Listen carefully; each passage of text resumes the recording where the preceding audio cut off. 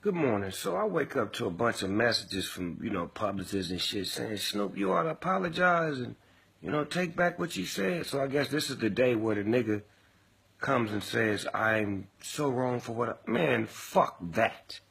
That's what I'm not gonna do. I could give a fuck about an award, about winning one.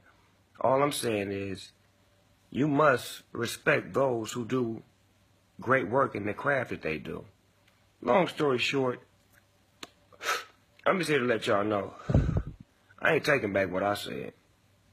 I meant it. Yep. I said what I meant and I meant what I said. Got me up early in the morning checking messages from publicists and shit talking about take back. I ain't taking shit back. Fuck y'all. Y'all want me to take back what I said? Well, take back the motherfucking votes and redo the ballots and get some niggas in there to win this year, at least to be nominated. Fuck the Oscars. I said it. You act like you didn't hear me, nigga. Fuck the Oscars. Now go to bed.